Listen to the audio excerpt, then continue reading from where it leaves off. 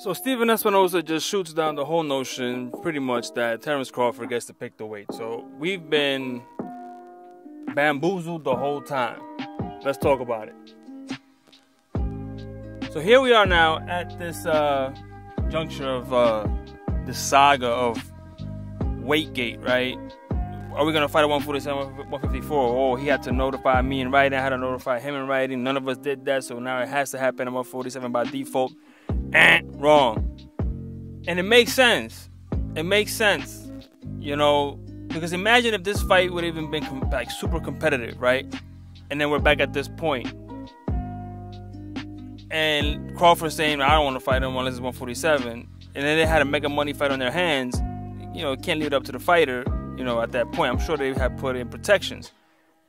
It sounds like they did put in protections. I mean, we still don't know exactly what the protections say, but it seems by because of Espinoza what he's saying, it's not that easy.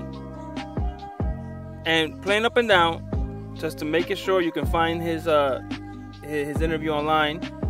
Espinoza says, "Well, no, it's that's not like that. You can't basically say I will fight anybody else at 154 except you. Can't do that. He doesn't get to pick the weight." Which makes sense also because we haven't really heard anything from Ter- uh, from Errol Spence in regards to debunking it. Like he's just been like, "All right, I'm gonna let you talk your talk, and I'm gonna just go ahead and just do what I do on this side, and eventually the truth will come to light." And it did.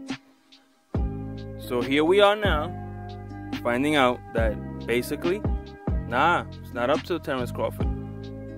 Now there might be a prohibition there, like who gets what money and a split. There's probably some sort of monetary decline for one of the parties if it's at 154 rather than 147. But nonetheless, that's not the hurdle. Right? That's not the hurdle. So there we go. I mean, it's clear as day. So now we just have to see. Actually, what if it happens at 147 is because maybe there's bigger money promised. If it happens at 154, there's less money. Probably. Because it's no belts, right?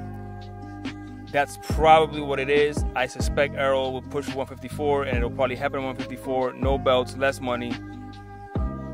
Errol still loses, in my opinion.